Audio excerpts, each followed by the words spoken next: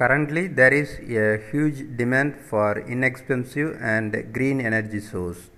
Solar energy in its current form does not yet meet all of the demand.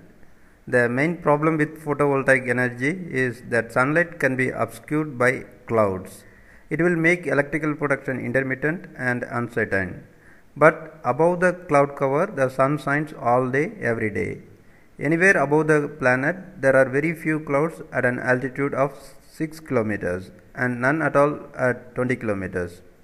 At those heights, the light comes directly from the sun, as there are no shadows and hardly any diffusion by the atmosphere.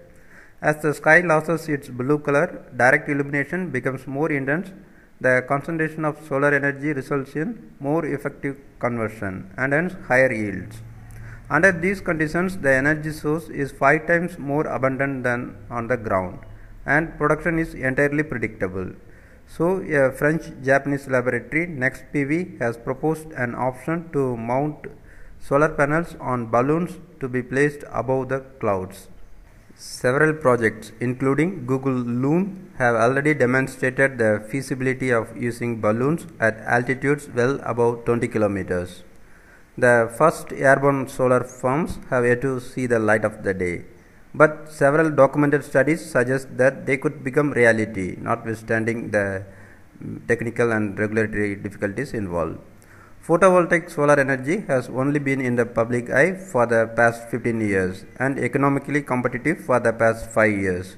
In 2000, worldwide production capacity barely totaled 1 gigawatt compared with 200 today.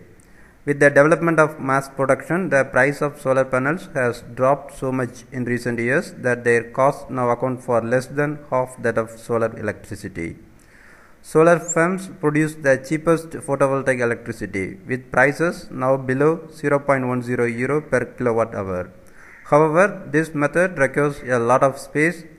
Theoretically, France's electricity needs could be met by solar parks covering about 1% uh, of its surface, an area that seems modest but is actually substantial, equaling the country's total urbanized land not to mention the 100 million tons of glass needed to make the solar panels. Today, one of the obstacles to the deployment of renewable energies like solar electric power is storage. Lithium based batteries are effective but expensive and could pose their own environmental problems. Using hydrogen as an energy vector could provide an elegant solution.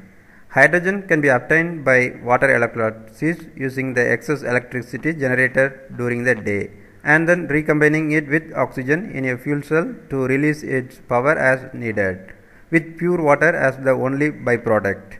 In addition, that same hydrogen could also be used to fill the balloons and keep them in the air at low cost while providing a low cost solution for hydrogen storage.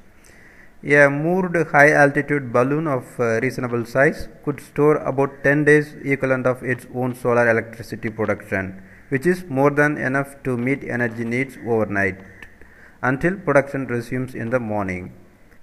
Reducing structural and installation costs, ensuring high conversion efficiency, and providing nearly round the clock access to an abundant power supply would help prove that clean energy can cost less to produce than coal fired electricity.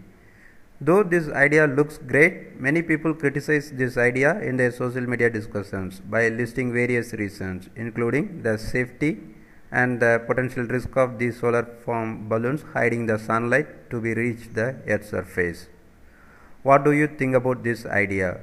Will it be successful? Share your thoughts through the comments.